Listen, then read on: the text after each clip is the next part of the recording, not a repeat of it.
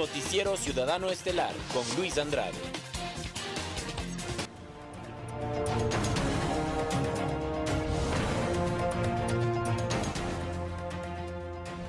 Amigos, amigas televidentes, muy buenas noches. Gracias como siempre por acompañarnos en la emisión estelar de su noticiero ciudadano. Bienvenidos y bienvenidas. Iniciamos con el desarrollo de la información. Los cancilleres de Ecuador y España confirman el fortalecimiento de las relaciones bilaterales, esto como resultado de la visita oficial del presidente Lenín Moreno en España. La visita oficial del presidente Lenín Moreno a España permitió realizar un repaso de las relaciones bilaterales y temas multilaterales, así como analizar la integración latinoamericana. Durante el encuentro entre la ministra de Relaciones Exteriores y Movilidad Humana, María Fernanda Espinosa, y su homólogo español Alfonso Dastis, se confirmó que España padrinará a Ecuador en la Comisión Europea para reformar el reglamento 539-2001 y de este modo lograr la extensión de la visa Schengen para los ecuatorianos. Lo que ha solicitado el Ecuador es eh, un compromiso por escrito por escrito de que exista un país auspiciante y el interés de Ecuador es que España sea ese país eh, auspiciante. Como digo, estar exentos de la visa Schengen será un motivo no solamente de encuentro entre las familias de ambos países, sino también de fomento al comercio, a las inversiones y al turismo. Otro de los acuerdos alcanzados es que Ecuador y España acordaron trabajar juntos en la prevención, investigación, persecución y enjuiciamiento de delitos penales y fiscales, mediante la suscripción del Tratado de Asistencia Judicial en materia penal en lo que respecta a la cooperación judicial básicamente es eh, de intercambio de información eh, de, información en materia eh, judicial entre los entre ambos países de fortalecer no solo el intercambio de información sino también las buenas prácticas en materia de justicia entre ambos países. Asimismo, se suscribió un convenio en el ámbito de la salud y ciencias médicas, que servirá para evaluar tecnologías sanitarias y programas estratégicos aprender de la experiencia española en el fortalecimiento de nuestra red eh, de salud pública en el Ecuador, eh, también eh, recibir apoyo y acompañamiento de España para fortalecer nuestros servicios ciudadanos en materia de salud pública. Respecto a la cooperación multilateral en Naciones Unidas, Ecuador y España trabajarán conjuntamente en el Pacto Mundial de las Migraciones. Se acordó que las consultas políticas se realicen a comienzos de 2018 a nivel de viceministros. Caterina Morejón, Noticiero Ciudadano. La solidaridad, el sentimiento más hermoso que tiene un ser humano. Este fue el mensaje del presidente de la República, Lenín Moreno, en su cuenta de Twitter. Esto en celebración del Día de la Solidaridad. A propósito del Día de la Solidaridad, el presidente de la República, Lenín Moreno, publicó en su cuenta de Twitter un mensaje en el que hace un llamado a todos los ecuatorianos para que siempre tengan presente lo importante que es compartir. En el tuit se lee lo siguiente. El mejor alimento para el espíritu es ser solidario. Cuando lo somos se alivian las penas, se alegra el alma y el mundo es más amable. Cabe recordar que el pasado 3 de agosto el jefe de Estado pidió hacer un buen uso de este espacio de comunicación y recalcó que no responderá a quienes lo ofenden. Mi posición como presidente de todos los ecuatorianos y mi educación me impiden responder en los mismos términos que usan quienes me ofenden, escribió el primer mandatario. Previamente explicó que en las redes informará sus actividades y celebrará los triunfos de los compatriotas. Jamás la utilizaré para ofender a los ecuatorianos. Seamos mejores personas en todo y con todos, agregó el primer mandatario. Caterine Morejón, Noticiero Ciudadano. El ministro de Educación subrogante Álvaro Sáenz ratificó durante la evaluación realizada por el Frente Social que existirá cero tolerancia para los casos de abuso sexual en menores de edad. El Ministerio de Educación mantiene firme el compromiso de tolerancia cero ante casos de abuso sexual en establecimientos educativos. El ministro de Educación subrogante Álvaro Sainz destacó que entre las acciones implementadas para la prevención de este problema está la generación de espacios de convivencia armónica y de paz en la comunidad educativa, además del impulso del programa Más Unidos, Más Protegidos. Cero tolerancia al abuso sexual. Se ha puesto al frente de esto el propio presidente de la, de la, República y ha creado una comisión donde participan 16 instituciones, entre las cuales están, por supuesto, todos los ministerios aquí presentes, para combatir definitivamente la violencia sexual contra niñas, niños y adolescentes. Esto como parte de la evaluación realizada por el Frente Social. En este contexto se puede destacar la campaña Todos ABC, que busca alfabetizar y dar continuidad a los procesos de educación hasta la conclusión del bachillerato. Empezamos con lo que se llama todos ABC. Quiere decir alfabetización básica y colegio. Y al momento tenemos inscritos más de 100 mil personas ya en el programa Todos ABC. En seis meses de gobierno se han inaugurado 43 instituciones educativas y hasta cerrar el año se inaugurarán 52 unidades más, entre nuevas y repotenciadas. Caterina Morejón, Noticiero Ciudadano. La Fiscalía General del Estado entregó a la Asamblea Nacional el proyecto de ley de extinción de dominio, mediante el cual se busca frenar la corrupción en el país. El fiscal general del Estado, Carlos Vaca Mancheno, presentó ante la Comisión de Justicia de la Asamblea Nacional el proyecto de ley de extinción de dominio y propuestas de reformas a siete artículos del Código Orgánico Integral Penal. La ley de extinción de dominio busca centrarse en un procedimiento en el cual intervienen principalmente la Fiscalía General del Estado en la investigación y la Procuraduría General del Estado en la prosecución de la acción civil de extinción de dominio. La normativa tiene como finalidad dotar a la justicia de herramientas legales para combatir la corrupción, Además, le permitirá recuperar activos, dinero de las personas vinculadas en delitos como el tráfico de influencias, enriquecimiento privado no justificado, delincuencia organizada, entre otras. Causas que no se pueden investigar si los procesados están en ausencia. Con esto lo que se busca es atacar la columna vertebral y el sistema nervioso de todos los delitos con sustancia económica, principalmente los delitos relacionados con crimen organizado o con las formas de criminalidad organizada. El marco legal regulará la identificación, la localización, repatriación de los bienes y la extinción de los derechos relativos al dominio de los mismos, así como de las ganancias, productos, rendimientos o permutas de origen delictivo o ilícito a favor del Estado. Lo que busca la extinción de dominio es concentrarse en la licitud o ilicitud de los bienes. La, extinción de dominio, de dominio es una ley que le da al Estado una herramienta para atacar la licitud o la ilicitud de los bienes. Luis Andrade, Noticiero Ciudadano. El Ministerio de Agricultura y Ganadería trabaja con varias entidades del Estado para la implantación de un sistema de riego que beneficie a los productores. 66 familias de la parroquia Santa Rufina, Cantón Chaguarpamba, provincia de Loja, serán beneficiadas con una obra para la tecnificación de riego parcelario mediante el subproyecto Implementación de riego parcelario tecnificado por aspersión y goteo. El trabajo se encuentra a cargo del Ministerio de Agricultura y Ganadería a través de la Subsecretaría de Riego y Drenaje con la finalidad de coadyuvar interinstitucionalmente en función de las competencias específicas y con la organización de usuarios para una adecuada ejecución del proyecto. En esta reunión participó el Ministerio de Ambiente, la Secretaría Nacional del Agua Senagua, la Prefectura de Loja, entre otros. El proyecto de irrigación tecnificada para pequeños y medianos productores y productoras cuenta con financiamiento del Banco Mundial y del Gobierno español. Carolina Díaz, Noticiero Ciudadano. El Ministerio de Industrias y Productividad y la Asociación de Productores Químicos del Ecuador suscriben un convenio para mejorar la productividad en el sector químico nacional.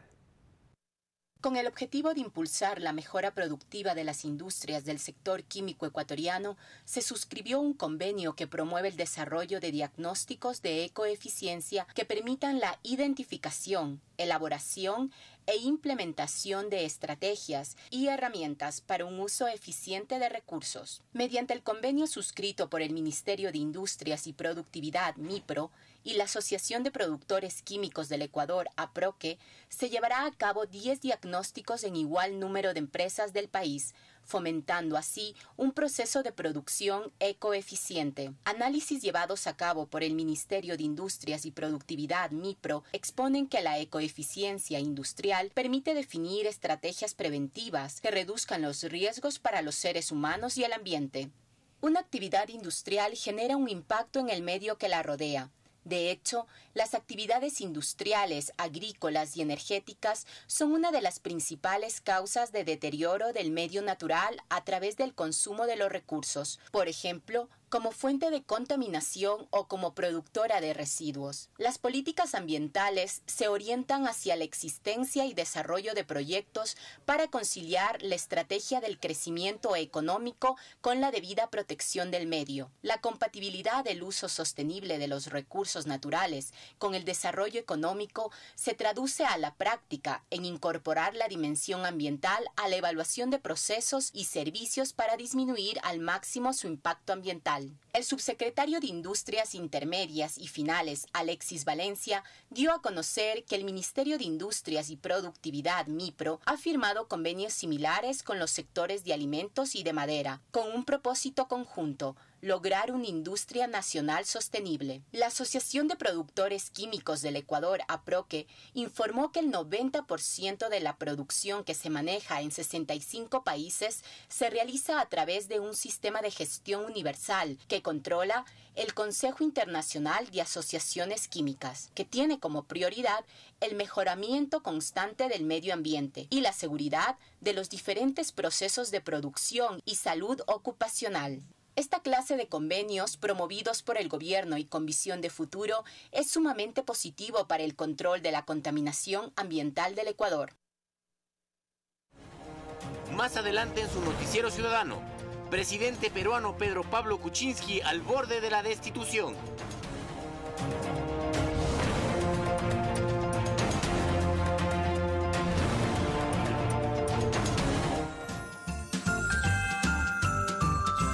Inicio de espacio promocional.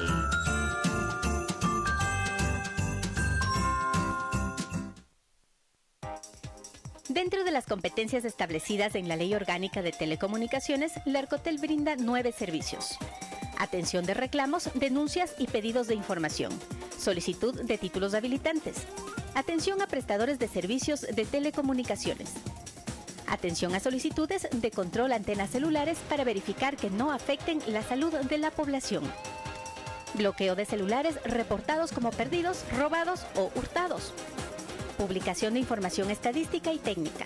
Registro de equipos inhibidores o bloqueadores de señal para entidades financieras y penitenciarias.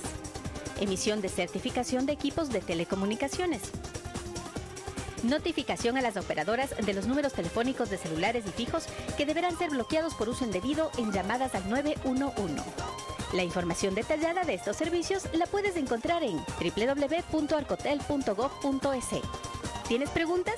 Escríbenos a comunicación.arcotel.gov.es. Arcotel te apoya.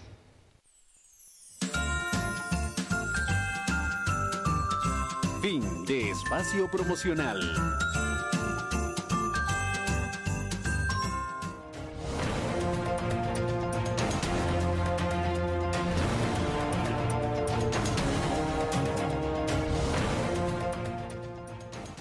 Amigos, gracias por continuar en nuestra sintonía. Les contamos que a partir del 2018, importadores y exportadores del Ecuador podrán sacar su registro a través de la ventanilla única ecuatoriana. Desde el próximo año, los registros de importadores y exportadores otorgados a través del Sistema de Información Empresarial del Ministerio de Industrias y Productividad MIPRO se obtendrán en la ventanilla única ecuatoriana BUE del Servicio Nacional de Aduana del Ecuador. Los registros de importadores de textiles, calzado, sal, materias primas, insumos de uso industrial y los registros de exportadores de desperdicios de chatarra ferrosa, cueros y pieles se realizarán a través de esta ventanilla mediante el nuevo formulario y sistema electrónico. La BUE concentra toda la información del importador o exportador El usuario que ingresa al módulo podrá realizar el seguimiento de su trámite, conocer su estado y cumplir oportunamente con las observaciones que le indica el sistema. La implementación de los registros en la ventanilla tiene su base legal en los decretos ejecutivos 285 y 953. La implementación de los registros en la BUE tiene su base legal en los decretos ejecutivos 285 y 953 elementos que disponen que los registros de comercio exterior se realicen mediante esta ventanilla, según la política gubernamental de simplificación de trámites. Carolina Díaz, Noticiero Ciudadano. ¿Sabía usted que estudiar los sismos como un sistema complejo podría cambiar el proceso de construcciones civiles en el Ecuador? Esta investigación la lidera Sebastián Araujo, doctor en geofísica y docente e investigador de la Universidad Regional Amazónica, IQUIAM demostrar que los terremotos en Ecuador forman un sistema complejo. Es el reto que Sebastián Araujo, doctor en geofísica y docente investigador de la Universidad Regional Amazónica IQUIA, plantea en una publicación científica para la revista cubana de física. El artículo que he escrito, eh, que ha sido publicado en la revista cubana de física, tiene como objetivo principal el redefinir la ley de Gutenberg-Richter para el territorio del Ecuador, utilizando los sismos del Instituto Geofísico de la Politécnica Nacional. Los sistemas complejos son uno de los temas que más se estudian en la actualidad. Precisamente el estudio de Araujo busca redefinir la ley de Gutenberg-Richter para las magnitudes de los sismos en Ecuador. La importancia de este artículo es que la ley Gutenberg-Richter interviene mucho en lo que es el cálculo de la peligrosidad sísmica y la peligrosidad sísmica es eh, la ley que define cómo deben estar hechas las construcciones civiles aquí en el Ecuador. Por lo tanto, redefinir esta ley significa intervenir en todo el aspecto de seguridad respecto a los sismos que, que, podemos sentir en el Ecuador. Con los resultados de esta investigación se podría definir los mecanismos y procesos para las construcciones civiles en el país, determinando aspectos de seguridad en base a la magnitud de los sismos. Caterina Morejón, Noticiero Ciudadano.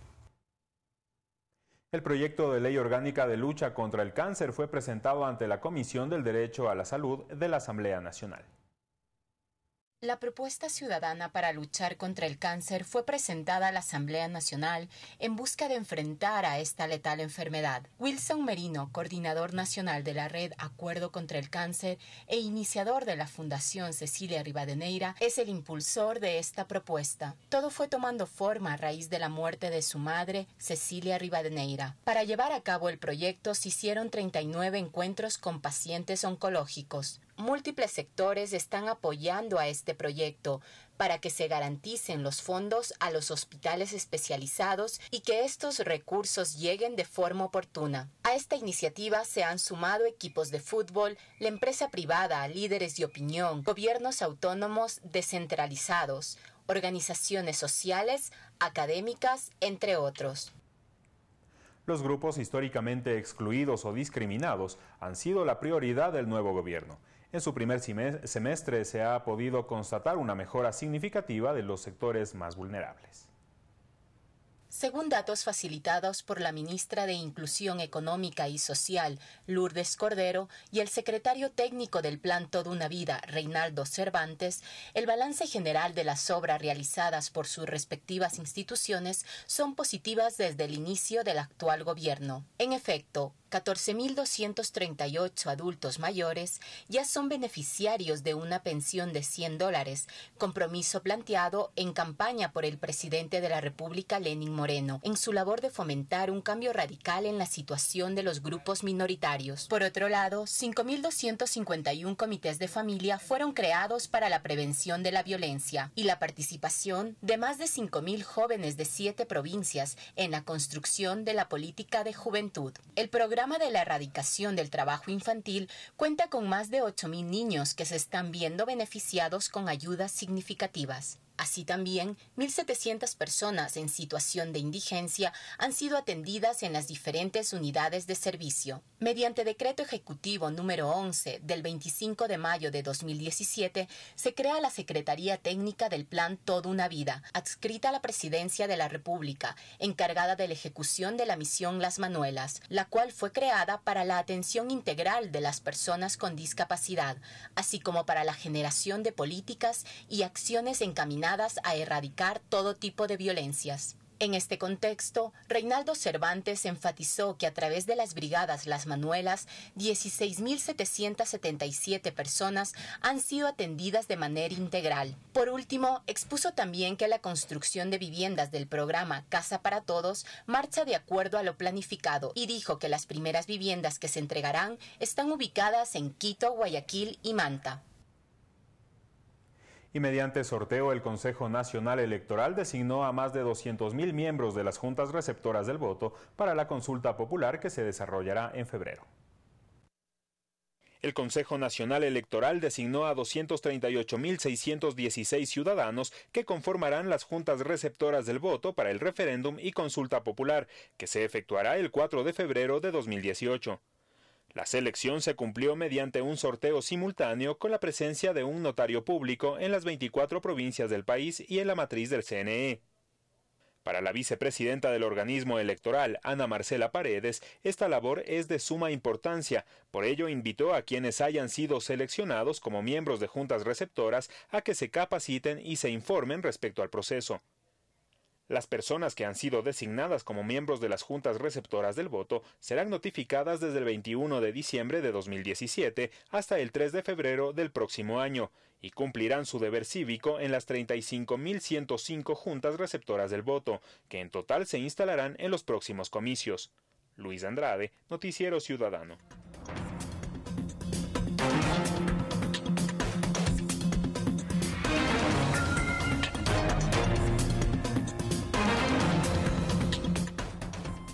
Y en las noticias del mundo les contamos que el presidente peruano Pedro Pablo Kuczynski se enfrentará el jueves a un Congreso resuelto a destituirlo por incapacidad moral. Se convertiría en el primer presidente en perder su puesto por el escándalo de la empresa Odebrecht. Les contamos estas y otras noticias en el siguiente resumen internacional. Aquí está la firma de Gerardo Sepúlveda, así Pese a sus explicaciones, al presidente peruano Pedro Pablo Kuczynski parecen quedarle pocas horas en el poder.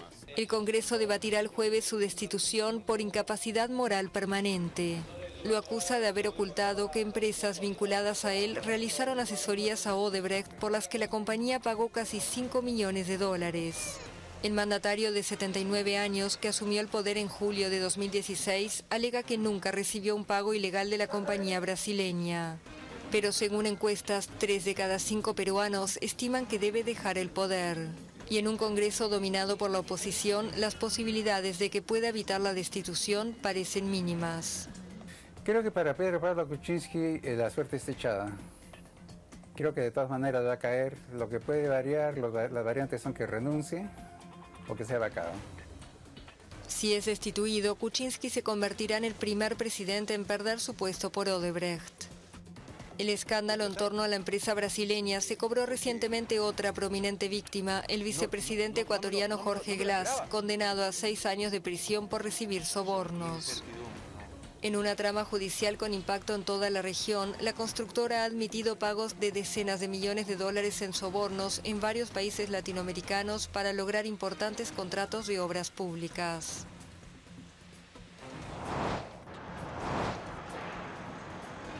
La Comisión Europea activó el miércoles un duro proceso sancionador contra Polonia por su controvertida reforma global del sistema judicial. Según Bruselas, amenaza el Estado de Derecho. El patrón común de todos estos cambios legislativos es que los poderes ejecutivo o legislativo ahora están dispuestos de manera que la mayoría gobernante pueda interferir sistemáticamente, políticamente en la composición, poderes, administración y funcionamiento de esas autoridades. Las sanciones anunciadas en julio podrían terminar con la suspensión del derecho a voto de Polonia en las instituciones comunitarias por violación grave de los valores europeos. La Cancillería polaca respondió con un comunicado en el que lamenta un proceso que afecta a las relaciones mutuas. Polonia está en la mira de Bruselas desde el regreso al poder del partido Ley y Justicia en 2015 que impulsa la reforma. A París y Berlín no les gustan nuestras políticas independientes y por eso la Comisión Europea ha sido usada como instrumento para jugar de policía malo que debe disciplinar a Polonia, pero de hecho es por intereses políticos y económicos. La comisión dio un plazo de tres meses a Varsovia para que adopte respuestas concretas en temas como la restitución de la independencia y legitimidad del Tribunal Constitucional, con lo que podría dar marcha atrás a las sanciones.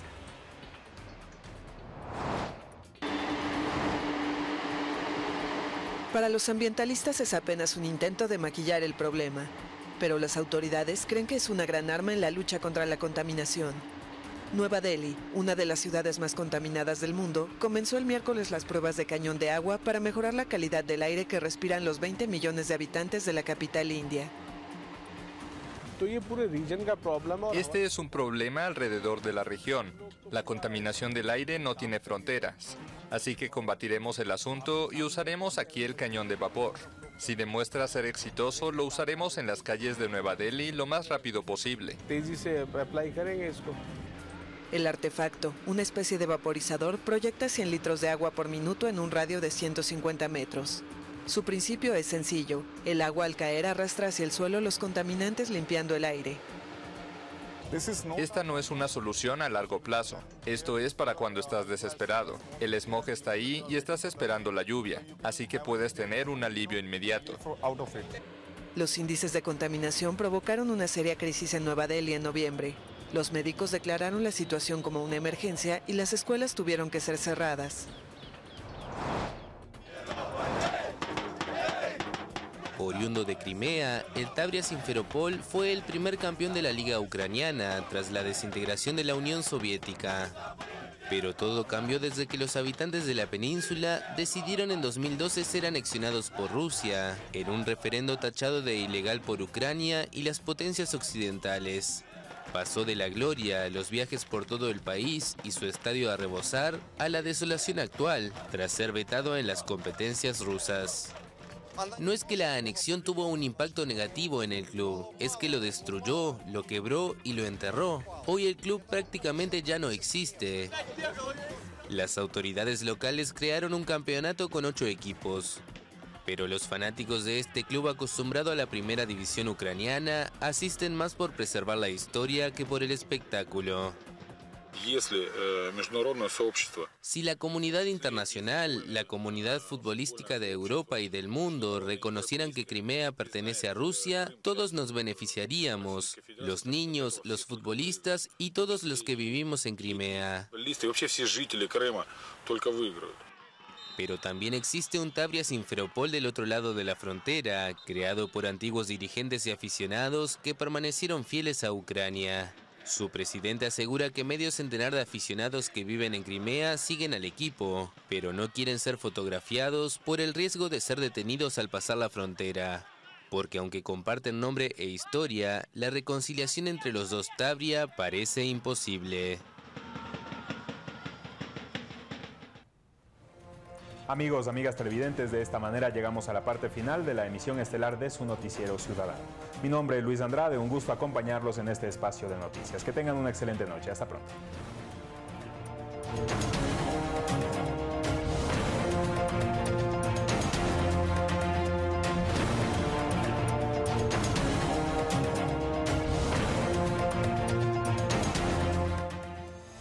Usted está viendo Tele Ciudadana, tu voz, tu país.